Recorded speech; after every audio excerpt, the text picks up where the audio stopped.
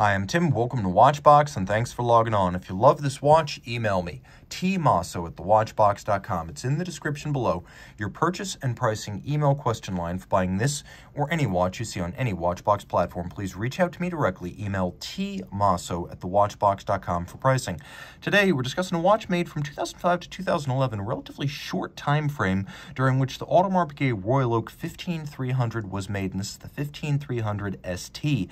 The watch is 39 millimeters in diameter, 9.4 millimeters thick from lug to lug. It measures 49.2 millimeters, and from end link to end length, the total distance across the wrist is 52.8 millimeters. On my 16 centimeter circumference wrist, the traditional 39 millimeter Royal Oak size is a better match than the later 41. So this watch sits low enough to easily slide beneath the cuff, and I can recommend it for a wrist as small as 14 centimeters circumference, something I could not say of the larger case. Now, the watch is very comfortable and handsomely made. A big part of what you pay for when you buy a Royal Oak is finishing of metal, and you can see this one is so sharp and undiminished as to appear to have never been polished. Taking a quick look at the bracelet, I should note that these bracelets take by themselves, absent case and bezel, about 9 to 11 hours to hand finish, and that is all of the individual pieces. You see those bevels? You see the polished contrast with satin? All of that is done manually. The tolerances are so tight that when I push the links together, I can see that they slope down and taper, but I cannot feel the step down from link to link. We have removable links fixed by screws, and we have a double deployant clasp here, an older clasp design at AP. You have a logo on each side, AP, AP, it closes sequentially with the logo closing second, and it has twin trigger release. You can see internally the clasp has polish, satination, and media blasting. It is a secure clasp appropriate for a sports watch. The bracelet is fixed to the case using screws and bars, an age-old assembly method that's been part of the Royal Oak since the original in 1972. It's more secure than spring bars, and it's welcome here. We have a screw-down crown, 50 meters water-resistant with a screw-down crown and a 50-meter rating. This watch is suitable for surface swimming. Note the crown is hexagonal. That to match the bolts that sit within the bezel. The bolts are made of white gold, and you can see they're slightly recessed, which attests to the condition of the bezel. When these start to get polished down or worn, the bolts start to get flush with the bezel. Not the case here. Now, the bezel in an octagonal rounded form was inspired by a vintage diving helmet. That's where Royal Oak designer Gerald Genta drew his inspiration. You can see the outermost face is actually satinated, then the large flanking profile is polished, and then the top has vertical satination.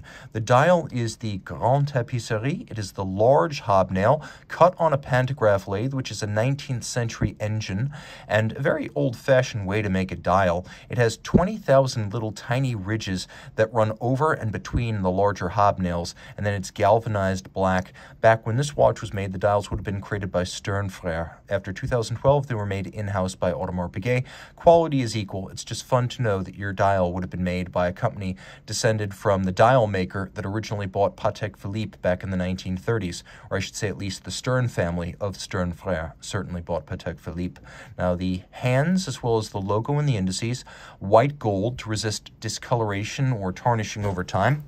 As you can see, the watch is quite well lumed and it includes two subsidiary setting modes, one of which is hacking or stop seconds.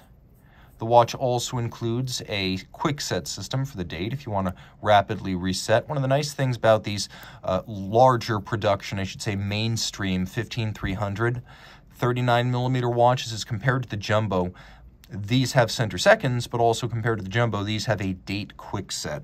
Now again, it's the same size case, but this is a much more volume-oriented model than the Jumbo. It's more durable, more water-resistant, and it has a more sophisticated manufacture movement.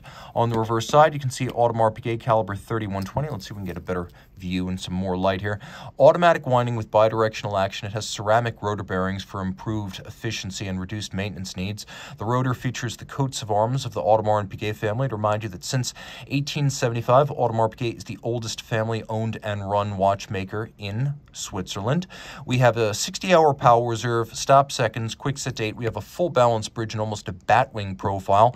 We have a free-sprung Gyromax style balance for precise adjustment and resistance to shock, and it beats away 21,600 vibrations per hour in this movement, which pivots on 40 jewels. And as you can see, it features a handsome combination of both manual and mechanical finishing. It's a medley with a little bit of both. like you'd find on an F. Journe timepiece, and certainly befitting the image of Audemars Piguet. Reach out to tmosso at thewatchbox.com for purchase and pricing details.